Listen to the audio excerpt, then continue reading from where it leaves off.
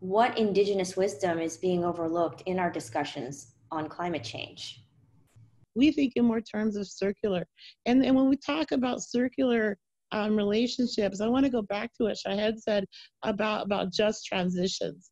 Because when we start talking about just transitions in this Green New Deal and talking about about looking at the people that are that are the most dispossessed, who in this country is the most dispossessed? You're talking about migrant workers. You're talking about people that, um, like my people. Um, uh, up until this COVID, before we got COVID money here, we had 94% unemployment on my reservation.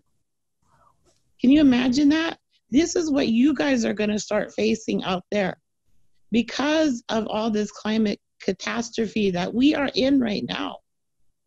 So, unless we start looking at our relationships, not only within ourselves and our communities, but also the surrounding areas around us. So, we start talking about just transitions.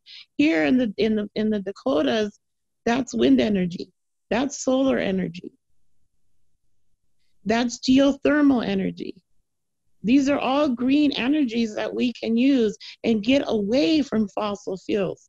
Because when we're pulling out the oil from the, the ground, that's Unchi Maka, that's Mother Earth's blood.